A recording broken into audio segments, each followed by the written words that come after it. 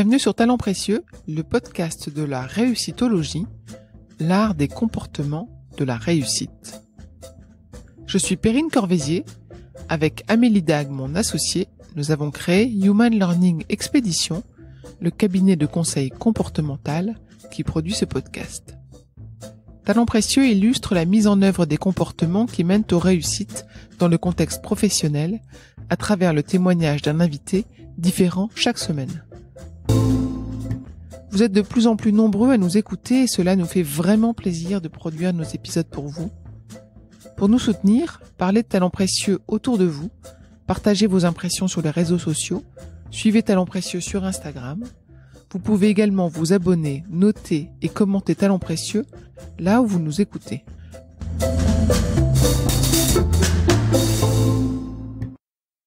Franchement, le travail en famille comme on le fait, c'est une vraie source de bonheur. Il y a une confiance, il y a une vraie confiance, c'est-à-dire que quand il y en a un qui dit quelque chose à l'autre, c'est toujours bienveillant. Il n'y a pas de mauvaises pensées derrière. Et ça, c'est très important. On sait que c'est toujours pour le bien de, l'entreprise et de l'autre aussi. Donc, ça sécurise quand même pas mal euh, dans les relations. Et puis on est un peu chacun à notre place, donc c'est facile, on n'empiète pas tellement sur le sur le périmètre de l'autre, donc du coup c'est vraiment un endroit assez épanouissant euh, pour tout le monde, quoi. Caroline Rostand porte un nom qui ne vous est peut-être pas inconnu. Sixième génération d'une famille d'amoureux de la gastronomie, avec sa sœur Sophie, elle travaille aux côtés de Michel Rostand, leur père. L'affaire s'appelle désormais Rostand, père et fille. Caroline dirige des restaurants. Pas une chaîne de restaurants, mais de nombreux restaurants où chacun a son positionnement, sa carte, son enseigne, etc. Née dans le monde de la restauration, elle se dit naturellement restauratrice. Lors de notre conversation, vous entendrez comme elle parle de cuisine avec passion.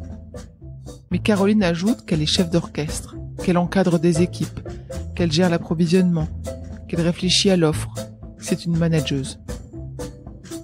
C'est donc un échange très riche pendant lequel nous avons parlé des clients, des équipes, des matières premières et des partenaires internes et externes. Parmi les clés de la réussite de Caroline, on peut citer la ténacité, la conviction, la confiance, la créativité, l'alignement et l'exigence. Mais au fond, la réussite de Caroline Rostand n'est pas sa propre réussite, mais celle de sa famille. Et c'est peut-être cela la clé de leur succès, passé et à venir. Bonne écoute.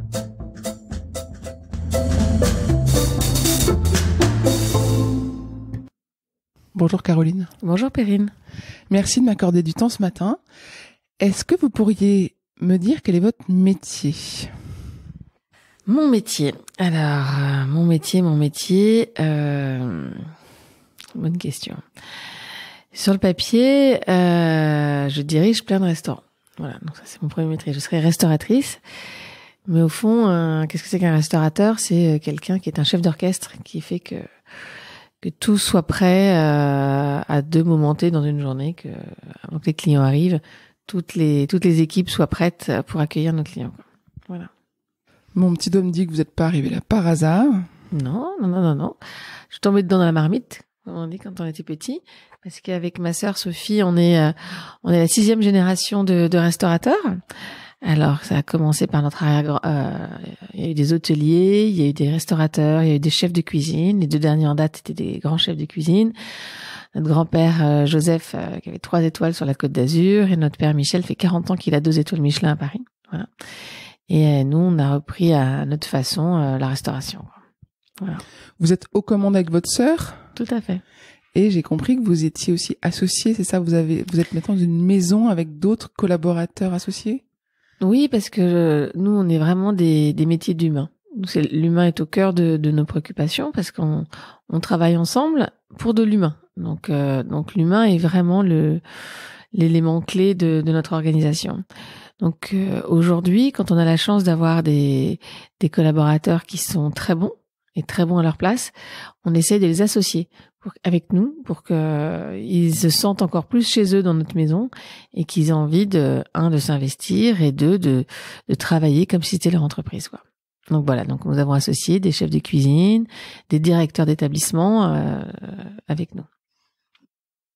Si on revient sur votre métier, euh, aujourd'hui vous dirigez des restaurants, vous êtes, vous avez, vous avez été formé vous-même à ce métier-là? Euh, Oui, j'ai, en quelque sorte. J'ai fait une école hôtelière. Donc l'école hôtelière permet d'apprendre les différentes facettes du métier. Mais après, rien ne vaut un peu de terrain pour euh, pour mieux mieux l'appréhender. Mais euh, voilà, j'ai été formée à à savoir cuisiner, à savoir diriger une salle euh, et à savoir euh, lire un bilan d'une entreprise. Donc euh, après, ça devient des choses plus ou moins pas innées, mais voilà, savoir parler à quelqu'un, c'est quelque chose qu'on a ou qu'on n'a pas dans, dans dans dans ses gènes, je pense quoi. Donc voilà. Qu'est-ce qui est le plus important dans votre quotidien? Il y a deux choses. La, la première, c'est que est-ce que toutes nos équipes sont, nos chefs d'équipe sont sont bien en ce moment? Voilà, parce qu'on a, une organisation assez pyramidale, donc chaque chef d'équipe dirige une équipe qui dirige le restaurant. Donc il faut que le, les chefs d'équipe soient bien, qu'ils aient le staff qu'il faut, euh, voilà. Et après, on regarde aussi euh, la fréquentation. Est-ce que voilà, les restaurants fonctionnent bien, ou est-ce qu'il faut qu'on ait des actions pour euh, pour améliorer ça, voilà le fait de diriger plusieurs restaurants, j'imagine qu'ils ont chacun leur euh, leur âme, ils ont chacun un nom, ils ont chacun un positionnement. Euh, comment est-ce que vous gérez cette variété là Ça, c'est très intéressant aussi. Parce que c'est ça qui est, qui est formidable. On a, on n'a pas le côté chaîne. C'est ce que j'avais pas tellement, j'ai jamais eu envie de vouloir euh, développer des chaînes parce que refaire tout le temps la même chose, je trouve que c'est un peu, un peu frustrant. Non, là, on a créé des univers différents à chaque fois et donc on s'adapte, euh, on s'adapte avec chacun. Euh, on parle le même langage et pas le même langage. C'est-à-dire qu'on a le même niveau d'exigence euh, euh quant à l'accueil et la qualité des produits. Simplement, euh, on va on va être un peu plus rigoureux en, fonction de la gamme euh, du, restaurant. Voilà. C'est-à-dire qu'on va demander un peu encore plus de convivialité dans les petits bistrots et un peu plus de réserve euh, dans, dans les restaurants gastronomiques. Et ces positionnements-là, vous les décidez comment? C'est-à-dire que là, vous avez une opportunité, je sais d'avoir un, un, nouveau restaurant bientôt à ouvrir. Comment est-ce que vous allez décider si vous le positionnez plutôt comme un bistrot, plutôt euh, Est-ce que vous regardez les tendances, les modes de consommation? Est-ce que vous regardez euh, euh, la zone de chalandise? Est-ce que vos clients vous demandent des choses? En fin de compte, c'est du sur-mesure. Voilà, on, on prévoit pas à l'avance euh, ça, ça, ça. Euh, je vais vous donner deux exemples. Quand on avait, quand on a racheté des il y a une vingtaine d'années au tribunal, au tribunal de commerce, on était plutôt dans l'esprit de faire un bistrot de poisson. Un bistrot de poisson à 50 euros, euh, des choses comme ça. Sauf que rapidement, on s'est rendu compte que nos clients ne voulaient pas ça. Ils voulaient des produits nobles. Ils voulaient manger de la sole, ils voulaient manger du bar, euh, du bar sauvage. Et ça, ça a un coût. Donc forcément, ça positionne le restaurant beaucoup plus, donc euh, haut de gamme.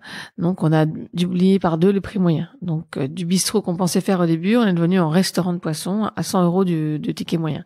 Donc ça, c'est c'est la, conjoncture qui a fait qu'on s'est qu'on s'est adapté à ça. Après, on a ouvert le café des abattoirs. Donc c'était une toute petite euh, une toute petite échoppe qu'on achetait. Et évidemment, là, on s'est posé la question de ce qu'on allait y faire. Et là, on est parti d'une de nos envies. Moi, j'avais très, je mange très peu de viande, donc, euh, mais je me disais qu'il euh, manquait, euh, il me manquait un, un endroit où euh, il y aurait un petit, un petit choix de viande, mais qui soit très pointu, qu'on sache un peu d'où d'où vienne la viande, ce qu'elle a mangé et parce que je pense que pour moi, le luxe demain, ça va pas forcément de manger, de manger du caviar ou du des choses comme ça, mais ça va de savoir d'où viennent vos produits, quoi. Et, ça, pour moi, c'était important. Donc, on a réfléchi autour d'un restaurant de viande où la carte change assez souvent parce qu'on travaille avec des producteurs qui ont une, qui ont une filière très courte et qui n'ont pas du coup d'énormes volumes, mais qui nous permettent d'avoir une viande de qualité. Voilà. Et, en, et forcément, la viande, c'est un petit peu cher, mais on a pris un positionnement pas si cher, on est autour de 50 euros, euh, parce qu'on a réfléchi à faire des économies de masse salariale sur la cuisine, où on ne fait que des grillades toutes nos sauces sont froides, donc euh, voilà. Donc c'est comme ça qu'on a qu'on a créé ça. Là, on est en train d'ouvrir un nouveau restaurant là à la rentrée.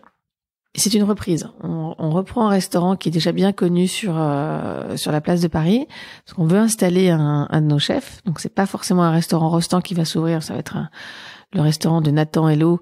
Euh, voilà, nous on est plus en comment dire en, sleeping partner, mais on travaille avec lui sur tout le positionnement. Et là, vu que c'est un restaurant qui fonctionne très bien, j'ai dit Nathan, il faut pas tout changer. Il faut qu'on garde ce qui existe déjà. Tu reprends une affaire qui marche, il faut se mettre dans les chaussons de la personne, mais tu vas le faire à ta manière. C'est-à-dire que le prix, c'est un menu carte, je crois, qui est à 42 euros. On va garder le menu carte à 42 euros. Je vois pas l'intérêt de changer un positionnement qui marche. C'est-à-dire que ça plaît dans le quartier, euh, ça plaît aux étrangers, à la clientèle locale. Donc non, tu feras tes preuves à travers ce cadre de, de menu-là voilà comment on, adapte un peu nos, euh, nos, nos, offres. Quoi. On n'a pas, c'est soit une envie, soit l'affaire qui vous euh, qui vous parle et qui fait qu'on on va donner l'impulse de, de, de l'offre. Quoi. Je comprends qu'il y a un vrai enjeu sur les partenaires, vos fournisseurs. Ouais. Quels sont les critères qui vous font les choisir? Quand on regarde un fournisseur, aujourd'hui, euh, il faut répondre à plusieurs critères. Un, il faut pouvoir nous répondre à notre demande. Donc, on peut pas non plus travailler avec euh, le micro maraîcher euh, tout seul, c'est pas possible. Un, répondre à la demande, mais deux, répondre aussi à notre demande euh, de plus en plus de raisonner. On n'est pas rentré dans le bio aujourd'hui dans nos dans nos dans dans nos, comment on appelle ça, dans nos fournisseurs de, de légumes. En revanche, on veut de plus en plus un engagement raisonné. On veut savoir ce que nos, nos les agriculteurs mettent sur leurs euh, sur leurs légumes, sur leurs fruits. Donc, on fait de plus attention à ça euh, pour tendre un maximum vers euh, vers des choses le moins loin possible. On travaille avec des gens qui travaillent le plus près possible de Paris et le plus petit possible, mais à notre échelle aussi. Donc, euh, moi, j'aimerais qu'on arrive dans les cinq ans qui viennent à avoir tout en, en bio raisonné, mais euh, voilà, c'est difficile quand même. Par exemple, on fait un énorme travail sur la pêche durable. Chez Desserriers, justement, on, on, a décidé depuis quelques années de respecter toutes les périodes de latence des poissons. Donc, on n'a pas de barre de ligne pendant quatre, quatre mois. On a, on respecte la période de latence de la sole c'est des vrais engagements qui sont pas toujours compris par nos clients parce que quelqu'un qui vient dans un restaurant euh, assez haut de gamme en poisson, bah, il estime euh, qu'il peut avoir ce qu'il veut quand il veut. Quoi. Donc c'est un vrai travail. Euh... Qu'est-ce qu'il doit lui expliquer? À qui ça revient? J'imagine que c'est pas vous qui descendez expliquer aux clients que désolé, aujourd'hui il n'y a pas de bar. Et ben c'est cela nos équipes. Donc vos équipes. Et comment est-ce que vous arrivez à les former sur des sujets comme ça? Parce que j'imagine que vous leur inculquez la satisfaction du client, l'excellence, euh, la passion. Et comment est-ce qu'on dit non? Comment est-ce qu'on apprend Vous avez raison. Eh, vous nous dites un truc très juste. Comment on explique les satisfactions du client et qu'on va devoir les frustrer? C'est terrible ça. Donc, euh, eh ben c'est c'est un gros travail de formation. Donc on gagne pas toujours parce qu'il y a toujours euh, ce qu'on appelle une grande résistance au changement. Et en plus, nos, nos, nos responsables en salle sont des vendeurs. Ils sont là pour vendre. Ils aiment ça. Euh, voilà. Donc dire non à un client, c'est c'est très compliqué pour mmh. eux. C'est très frustrant. Mais après, ils ont tous des familles. Ils ont tous des familles. Ils voient tous que la planète, elle évolue pas forcément bien, quoi. Qu'on leur dit qu'aussi, à un moment, si on fait pas attention, si nous, on n'est pas un peu engagés, on n'a pas, on n'est pas des, des citoyens qui s'engagent dans notre savoir-faire euh, pour faire passer ces messages-là, qui va les faire passer? Donc ils ont un rôle majeur par rapport à ça. Donc on essaye de leur faire comprendre leur importance hein, en même temps de d'être un messager auprès des clients et que c'est aussi à eux de pas de les éduquer parce que j'aime pas ce terme. On est un client qui vient dans un restaurant, il n'est pas là pour se faire éduquer, mais en tout cas pour lui expliquer que le monde il tourne d'une certaine façon et que nous on a choisi de de tourner dans ce sens-là. Quoi. Et c'est pas pas gagné. Il y a des fois j'ai mon directeur qui remarque, qui me dit mais Caroline c'est pas possible, c'est pas possible, on a pas de sol, c'est pas possible. J'ai des clients qui sont partis. Ok ok Philippe t'as pas de sol, mais alors euh, pourquoi tu lui proposes pas autre chose? T'as d'autres poissons sympas. Explique-lui que la sole en ce moment c'est pas possible parce que dans dix ans t'en auras plus du tout sur l'océan si on n'arrête pas de la pêcher. Donc euh, donc voilà c'est pas simple. On, fait énormément de recyclage. Toutes nos huiles usagées sont recyclées. Euh, dans, nos restaurants, on essaie de faire un maximum de, de tri sélectif euh, de nos déchets, d'arriver au maximum à zéro déchet. C'est difficile, mais d'en faire un maximum. Mais vous voyez comment sont comment est Paris, comment sont les immeubles dans Paris. Vous imaginez les copropriétaires quand ils nous voient arriver avec toutes nos poubelles. Ça, ça, ça hurle de partout, quoi. Donc c'est c'est une lutte. Je crois beaucoup à la politique des petits pas. Donc euh, voilà. Petit à petit, on arrive à bouger les choses, quoi. Sur votre métier de restauratrice, donc c'est la cuisine, c'est l'alimentation. Votre père, j'imagine, est arrivé là par passion, aussi par héritage familial, mais lui, j'imagine, ce qui lui importait, c'était ce qu'il y a dans l'assiette. Et vous, je vous entends beaucoup parler de, comme une chef d'entreprise, euh, de positionnement prix, de satisfaction client. Comment est-ce que justement vous arrivez à mener aussi bien votre métier sans être bah, les mains dans la cuisine? Ah bon, on y est un peu, hein. Euh, on y est un peu les mains dans la cuisine. Euh, on y est un peu, mais aussi parce qu'on est, euh, on est très proche aussi de, de, nos cuisiniers, de nos équipes, et que surtout, même si on est chef d'entreprise, j'oublie pas qu'on est un métier d'artisan. Et, euh, c'est ce dont on s'est rendu compte quand on s'est occupé des cuisines du train bleu, qu'il faut jamais oublier ça, qu'il faut jamais oublier qu'on est un métier d'artisan et que nous notre métier c'est de, de, prendre un, un, produit brut et de le transformer euh, pour faire plaisir aux clients. Parce que le jour où on oublie ça, on est on est perdu par le marketing et par la finance et on perd l'âme, comme vous dites quoi. Euh, donc voilà, le positionnement c'est euh, c'est important, mais c'est pas si important parce que comme je vous ai dit tout à l'heure, c'est le client qui décide. Ce qui nous est arrivé chez les c'est le client qui a qui à un moment veut quelque chose, donc du coup le positionnement se fait naturellement quoi. Et euh, voilà, ce qui je pense ce qui est important, c'est d'être euh, aligné avec ce qu'on a envie, c'est-à-dire que les choses auxquelles on croit, euh, les choses qu'on aime et qu'on a envie de faire. Quand on est aligné, en général, euh, ça match quoi. J'aimerais qu'on parle de réussite, mm-hmm. de succès. Euh, quel était, à votre avis, l'enjeu de réussite de votre père? Et après, j'aimerais avoir quel est votre enjeu de réussite à vous. C'est pas les mêmes. J'imagine que c'est pas les mêmes. C'est pour ça que je pose la question. mon, père est un vrai chef d'entreprise. C'est un vrai entrepreneur. C'est le premier chef à avoir ouvert, à avoir ouvert des bistrots à Paris il y, a, il y a 40 ans. Donc avant tous les autres grands chefs, le premier à Paris, c'était lui. Donc il a toujours eu cette volonté de se développer, d'être un vrai chef d'entreprise, de savoir s'entourer euh, et tout, et d'avoir des étoiles au Michelin. Lui, pour lui, un restaurant gastronomique c'était important.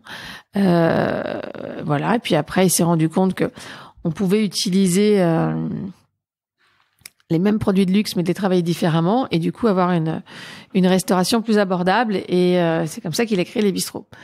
Donc je pense que son objectif de réussite, c'était de se faire plaisir dans dans sa passion, voilà, et, euh, et de continuer à développer parce que c'est un véritable entrepreneur. Quoi. Moi, ma réussite, c'était quoi? Euh, C'était d'arriver à travailler en famille et d'arriver à, à faire perdurer euh, cette histoire.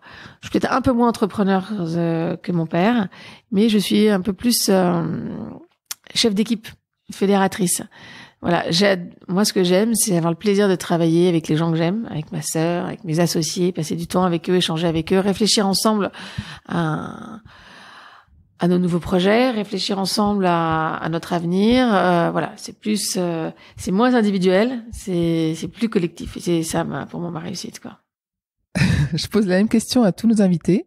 Est-ce que vous pouvez nous raconter un succès professionnel dont vous êtes fier euh. Oui, alors, je vais vous en donner un qui, nous a bien plu là, ces derniers temps. Comme je vous dis, on a repris la, cuisine du train bleu il y, a, il un an et demi maintenant. Et il fallait évidemment remettre de, la vie dans ce restaurant. On avait tout un travail, on a fait un gros travail d'audit euh, dans la cuisine. Mais on s'est posé la question de comment mettre de l'âme dans ce restaurant. C'est immense, c'est un restaurant immense, il est classé au monument historique. Euh, mettre un directeur charismatique dedans, euh, ça serait formidable, mais il y a tellement de places assises que personne, tout le monde ne pourrait pas profiter de, de ce directeur charismatique. Et du coup, on s'est dit, attends, le train bleu, c'est un peu magique, c'est un peu la féerie de l'enfance, c'est un peu, euh, c'est un peu pas un parc d'attraction, mais en tout cas, c'est un petit côté magique. Donc, il faut qu'on rapporte un peu de magie euh, pour les grands. Et du coup, euh, on s'est dit, c'est pas un directeur incroyable qu'on va mettre, mais on va remettre un l'âme à travers les grooms qu'il pouvait y avoir à l'époque euh, dans les trains.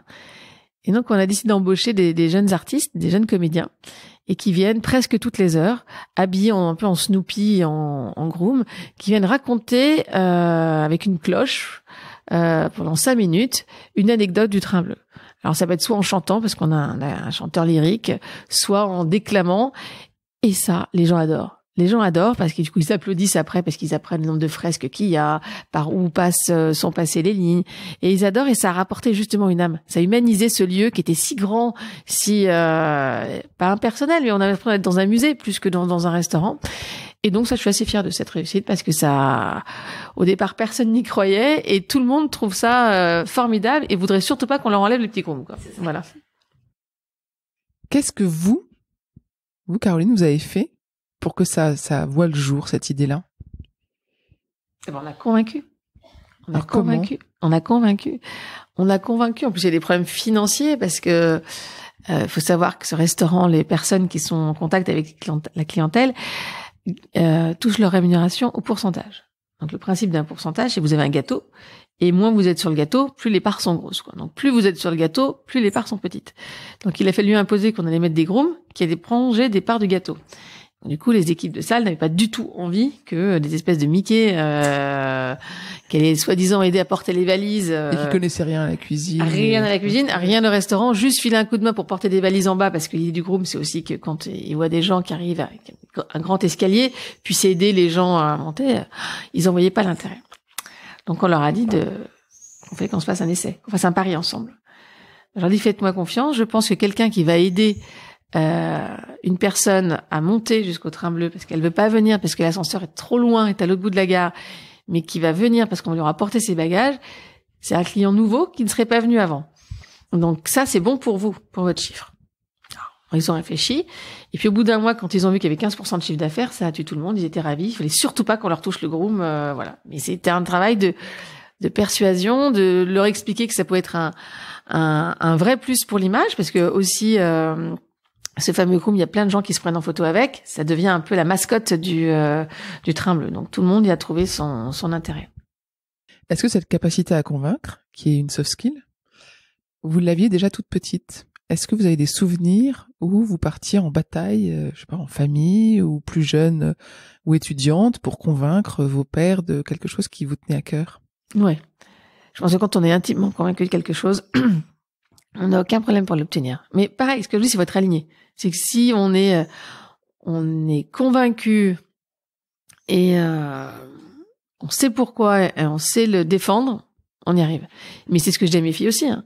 Je supporte pas qu'une de mes filles me dise ah, maman, euh, je voudrais ça. Très bien, chérie. Pourquoi tu veux ça? Explique-moi pourquoi tu veux ça. Et si tu arrives à me convaincre, eh ben écoute, euh, oui, je vais réfléchir et je te le donnerai peut-être. Je trouve que c'est super important, ça, en fin de compte, d'arriver de, à convaincre, d'avoir les arguments et de et qu'on comprenne pourquoi. Parce que je suis dans une société où tout est facile, on peut tout avoir euh, comme on veut, mais justement, se donner la peine de débattre un peu, euh, je trouve ça vraiment passionnant.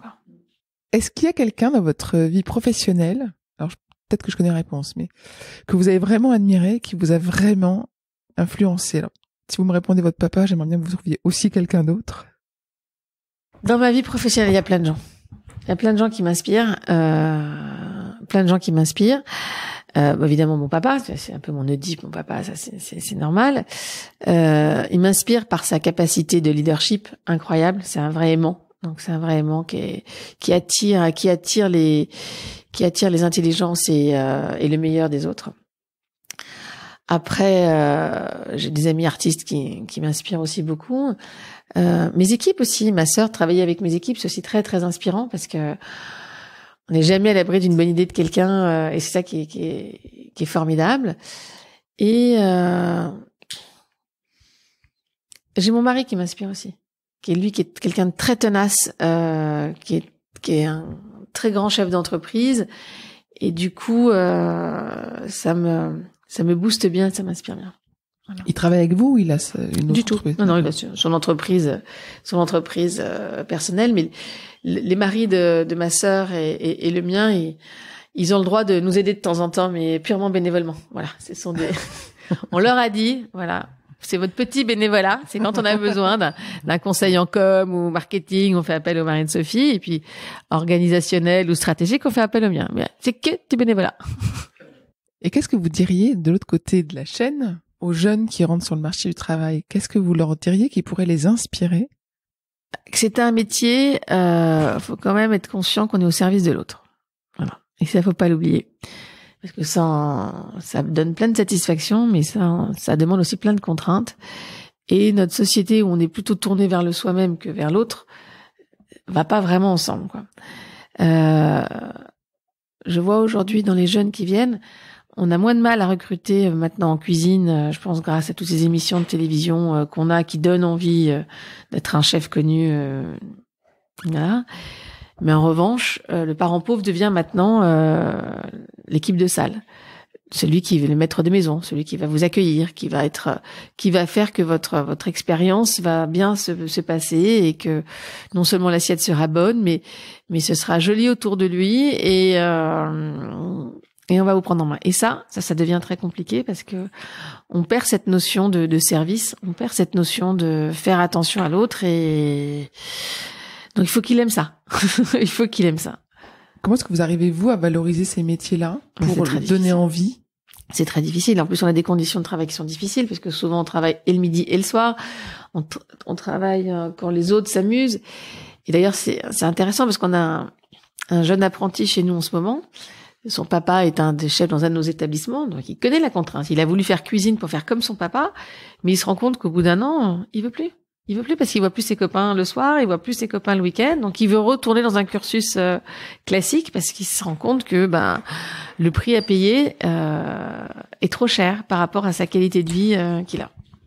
Et vous, et oui, c'est compliqué pour vous du coup de de recruter. De recruter. Ouais, bien sûr, c'est compliqué de, de recruter et de, et de recruter, de leur donner envie de le faire. Souvent, on, retrouve des gens qui font qui viennent faire ça parce qu'ils ont sont pas mal en échec et qu'ils n'ont pas trouvé entre guillemets un, autre métier à faire. Il faudrait qu'on arrive maintenant à, avoir des gens qui viennent plus par envie, par motivation euh, et par réel plaisir. Alors on en a, hein, on en a quelques-uns et ça c'est formidable, mais c'est pas encore. Euh... Je dis, on a un peu le parent pauvre dans notre métier, euh, la salle maintenant. Comment est-ce qu'en entretien vous décelez l'authenticité de cette volonté Parce que tous ceux qui viennent vous voir, ils ont envie de travailler. Comment est-ce que vous arrivez à déceler ceux qui vont être engagés auprès de vous, vont s'engager pour le client? Bon, je pense qu'on s'en, on s'en rend compte rapidement dans un entretien quand même, savoir ce que la personne a envie de faire ou pas. Là, je viens d'embaucher un jeune là pour la rentrée. Euh, il fait une école hôtelière en province. Il m'a envoyé un CV en me disant qu'il avait envie de d'apprendre le métier de la salle euh, en tournant, en découvrant différents types d'établissements.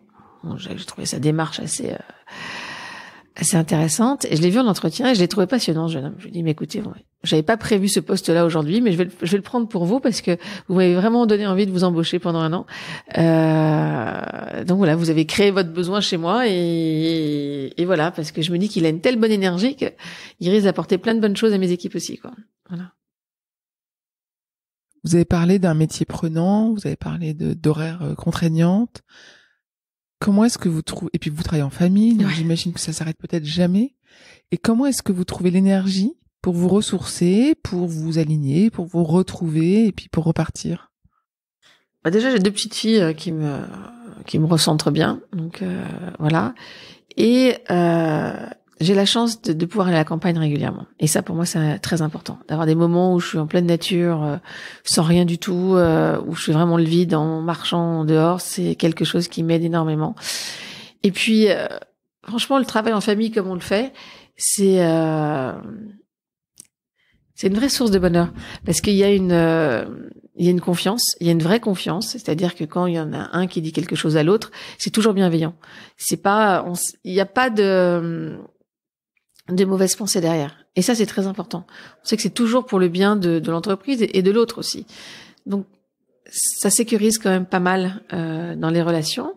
Et puis, on est un peu chacun à notre place, donc c'est facile. On n'empiète pas tellement sur le sur le périmètre de l'autre. Donc, du coup, c'est vraiment un endroit assez épanouissant euh, pour tout le monde, quoi. Et c'est un endroit que vous avez choisi, malgré le fait que ce soit une, une histoire familiale. Alors, on l'a choisi, oui. Euh, on l'a choisi et puis c'est aussi euh, c'était aussi vraiment l'envie de travailler ensemble. Je me disais que mes parents ils avaient bâti un truc incroyable et que j'avais envie de participer à cette à cette aventure. Donc je l'ai choisi, mais la vie m'a choisi aussi. En sortant de l'école, mon père me dit bah viens travailler quelques mois avec nous. Et euh, j'ai trouvé ça super de travailler avec eux. Et je me suis dit bon bah qu'est-ce que je fais? Est-ce que je continue de faire mon tour du monde euh, de, de découverte ou je continue de j'essaie de trouver ma place dans cet univers? Et j'ai préféré trouver ma place dans cet univers parce que je trouvais que les, les places de chacun étaient simples, les relations étaient simples et que voilà. Très bien. On a beaucoup parlé de compétences comportementales. Euh, c'est le but. Et maintenant, j'aimerais bien vous demander votre propre définition des compétences comportementales ou des soft skills dans votre métier, dans votre contexte.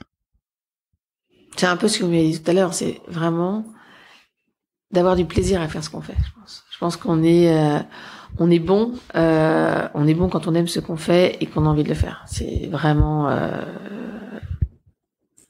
la définition de base, je pense quoi. Donc, Ok. voilà. Est-ce que vous attendiez à ce qu'on parle d'autre chose? Non, non, non, c'est bien. C'est bien. non, non, c'est très- c'est très bien. Bon. Et qu'est-ce qu'on pourrait vous souhaiter à vous et puis à la maison Rostand? Qu'est-ce qu'on pourrait souhaiter à la maison Rostand? Bah écoutez, de de continuer d'écrire euh, son histoire. Voilà, parce que là, ça fait six générations. Comment on va écrire la septième? We'll see. Donc, euh, mais en tout cas, ce que je trouve bien, c'est que chaque génération écrit quelque chose de, de notre histoire. Donc voilà, on arrive à la fin de la nôtre, on verra les enfants euh, ce qu'ils vont faire. Quoi. Donc, euh, et ça, je trouve ça assez intéressant. Et à vous, qu'est-ce qu'on peut vous souhaiter à vous personnellement? Bah, de continuer à aimer ce que je fais. Voilà, parce que je pense que c'est vraiment le moteur de tout. Quoi. Donc euh, l'énergie, euh, l'énergie et l'envie, c'est quand même un, un moteur euh, formidable. Quoi. Parfait. Très bien. Merci beaucoup. Merci Perrine.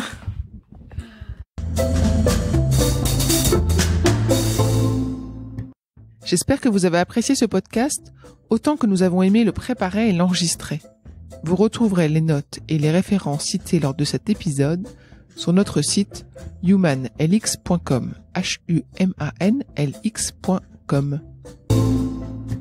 Vous avez des invités à nous suggérer?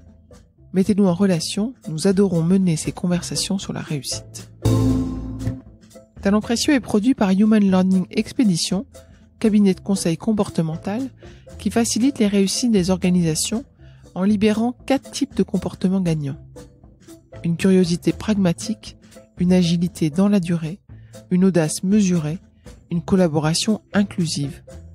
Pour en savoir plus sur HLX, connectez-vous sur HumanLX ou suivez-nous sur Facebook, Instagram, sur LinkedIn ou sur Twitter. Merci pour votre écoute et à bientôt